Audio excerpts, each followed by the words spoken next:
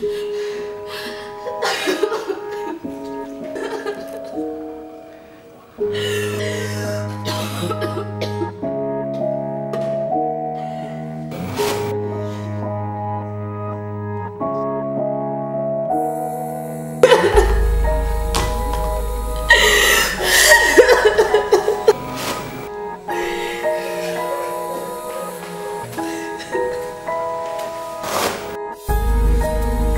This means that Donald Trump will be the 45th President of the United States. Will win the state of Utah. Thank you very much, everybody.